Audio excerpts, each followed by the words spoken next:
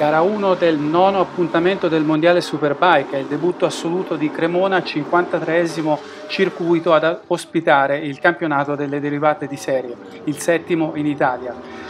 La gara 1 è partita con Niccolò Bulega in pole position ma subito attaccato da un aggressivo Andrea Iannone che si porta al comando inseguito da, anche da Danilo Petrucci che è partito in seconda fila per la penalità rimediata durante le prove del venerdì Petrucci subito all'attacco di Andrea Iannone,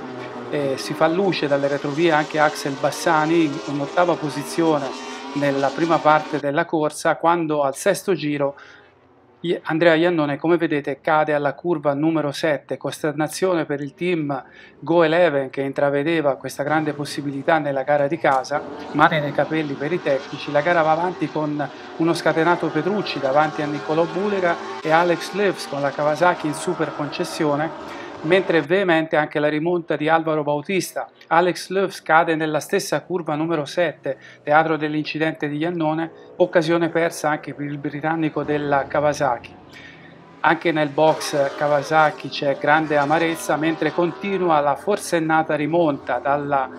quinta fila di Alvaro Bautista, soltanto tredicesimo in Super Pole, ma estremamente abile nel recuperare posizioni pur essendo partito in condizioni ancora meno mate per l'infortunio alle costole rimediato nella Super Pole Race di Magnicur due settimane fa. L'attacco ad Andrea Locatelli con la Yamaha numero 55 e poi anche ai danni della Honda di Iker Leucona per la conquista del terzo gradino del podio, un risultato davvero formidabile, mentre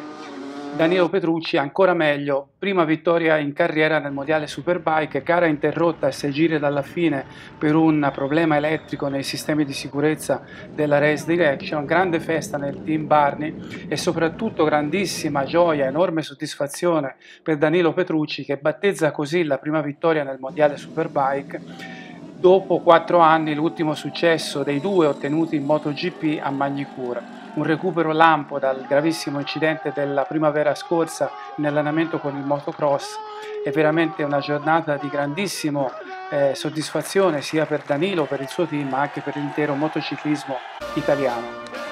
Ecco l'inno nazionale che saluta questa magnifica e stupenda vittoria, mentre la classifica di gara 1 eh, ci dice Petrucci, Bulega, Bautista, Lecuona, Bassani, Pierli, Van de Marche Gerlo. Mancava Toprak. Grazie a per il nuovo infortunio. I didn't understand uh, I won the race but uh, it's uh, it's amazing and uh,